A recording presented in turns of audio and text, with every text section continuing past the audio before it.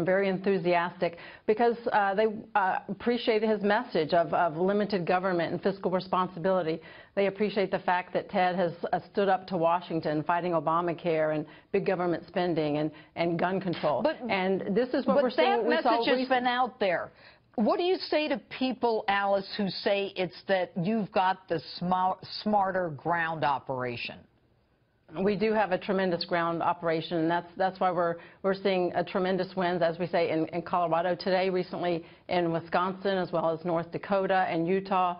We've got a great ground uh, operation and organization, but we also have a great candidate that, with a message that people are uh, connecting to, and he's a great retail politician. He works really hard out there on the campaign trail, and what we're seeing as as the field has narrowed and has winnowed down to uh, virtually two candidates, but there are three in the race.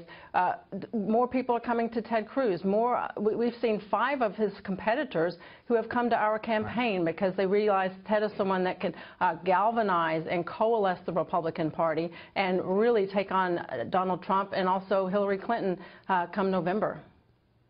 You know, I talked about in my open the fact that uh, Reince Priebus, you know, wouldn't come out and say, the RNC chairman wouldn't come out and say, you know, that the nominee is going to be Trump or Cruz, the top two vote getters, but it'll be someone who's running. Did that kind of irk you guys? I mean, did you say to yourselves, given that they can change the rules the week before the convention, uh, are you worried? No, I think clearly we're going to have, uh, if we don't receive 1237 before the convention, we expect to get it on the floor. Another thing you said, Judge, in your opening statement I thought was uh, spot on, as, as, generally in your opening statements, was the government gets their rights from the consent of the governed. And that's exactly what we're having here in this process. To win the GOP nomination, you have to get majority plus one. whether you get that out on the campaign trail uh, prior to the convention, the 1237, you take it to the convention floor. And what we've been doing is working hard to get the majority of delegates in each state. And that's what's critical here is uh, winning states is fantastic, but in these states where if you can't uh, win the state outright, continue to rack up delegates. And that's what we've been doing. And it's by uh, working with the people on the ground and, and talking with these delegates and having relationships relationships with them, and that's part of the process. It's whoever gets the majority plus one will be the nominee. You can't just get the ball down to the red zone and be given the touchdown. You have to get majority plus one, and that's what we're going to see. And, and in terms of the rules and what will happen on the convention floor, but, uh, the number one rule is uh, majority plus one. Right. Okay, but you realize that even according to the numbers, you've got to, you still have to win something like 80% of, you know, to get, of, of the primaries and caucuses to get to 1237. You think you can well, do that's, that?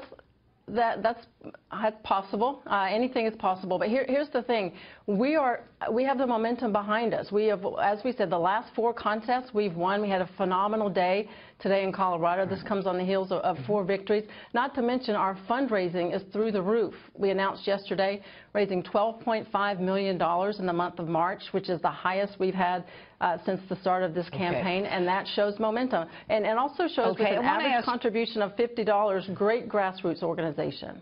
Okay, I want to ask you one question before before we end.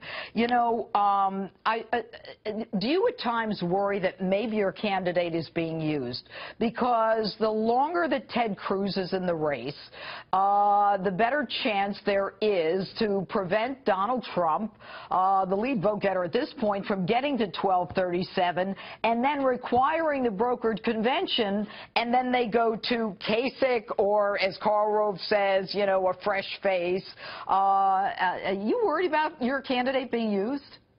No, uh, uh, no one can take advantage of Ted Cruz. You can uh, take that to the bank. And look, we have a, a strategy in place to work hard and win as many states as we possibly can, acquire the necessary delegates. But here's another thing. Our, our ground game is, is at work in all of these states, but we also have a plan uh, how to win at the convention and working with the delegates on the convention floor. And uh, people, right. what we saw today in Colorado, these people want someone who has been a part of the Republican